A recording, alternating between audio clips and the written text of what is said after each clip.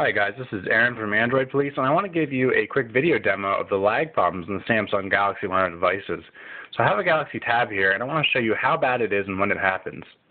The first example is when you're pulling down and pushing up the taskbar. You can see it's not too terrible, but if you look especially along the buttons up top here and the brightness slider, you can see it's just not quite as fluid as it should be. It's also noticeable when you're scrolling between home screens. And, and again, it's not too terrible, but the more you use it, the more you see it. And it's especially noticeable when you're updating feeds or something's going on in the background.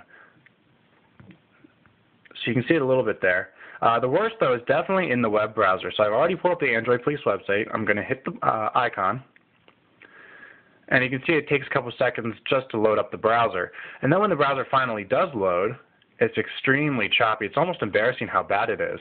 So I complained about this in my initial hands-on with the tab, and somebody suggested that I use the uh, Dolphin browser. So I've been using that ever since, and you can see it's much smoother, much better. And I think the reason that it's better is because uh, Dolphin by default doesn't load Flash.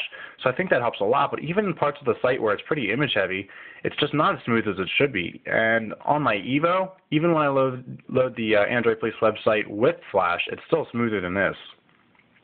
So that's a quick video demo of the lag problems in the Samsung Galaxy line of devices.